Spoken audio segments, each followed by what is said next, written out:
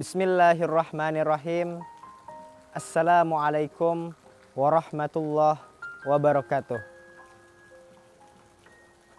الحمد لله الحمد لله رب العالمين وبه نستعين على أمور الدنيا والدين اللهم صل وسلم على سيدنا محمد الفاتح لما أغلق والخاتم لما سبق nasiril haqqi bil haqq wal hadi ila siratikal mustaqim wa ala alihi wa sahbihi haqqa qadrihi wa miqdarihil azim. Puji syukur kehadirat Allah subhanahu wa ta'ala serta salawat dan salam.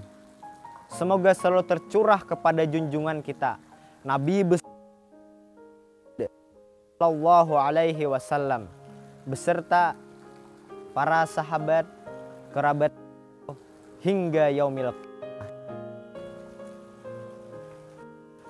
Pada kesempatan kali ini saya akan menyampaikan sebuah hadis tentang manusia yang paling baik.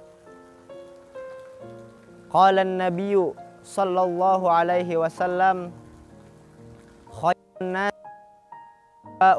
nas yang art sepaling baik manusia ialah manusia yang memberikan manfaat kepada manusia yang lain.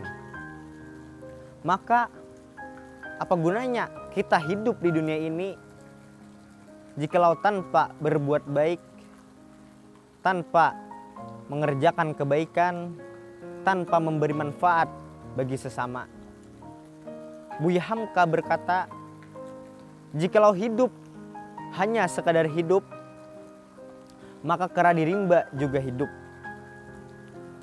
Jikalau kerja hanya sekadar kerja, maka kerbau di sawah juga kerja. Apa bedanya dari mereka? Maka kita hidup di dunia ini banyak-banyak dalam menyampaikan kebaikan, banyak-banyak dalam mengerjakan kebaikan, banyak-banyak untuk memberi manfaat bagi sesama. Sekalipun kebaikan kita tidak dilihat oleh orang, kebaikan kita tidak dipandang oleh orang. Kita lihat filosofi gula dan kopi. Jikalau kopi itu terlalu pahit, maka siapa yang disalahkan?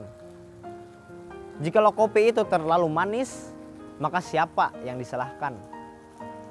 Yang disalahkan ialah gula.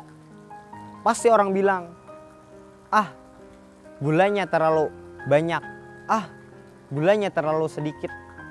Tapi jikalau takaran gula dan kopi berimbang dan pas menghasilkan rasa yang nyaman, yang enak, yang mantap, pasti orang bilang, hm, wah kopinya mantap.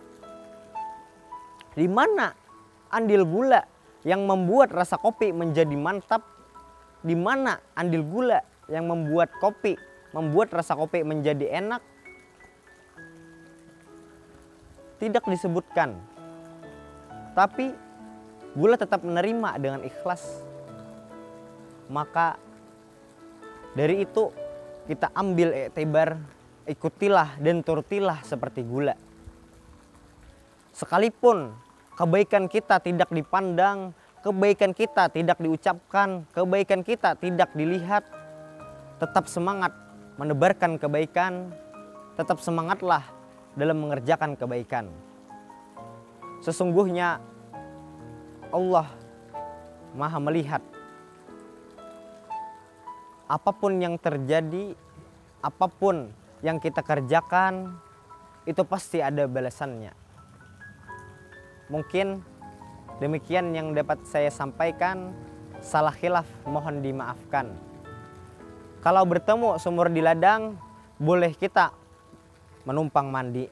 Kalau ada umur yang panjang, boleh kita bertemu kembali. Wabillahi taufik wal hidayah, waridha wal inayah. Wallahu muwafiq ila aqwamit tariq. Wassalamualaikum warahmatullahi wabarakatuh.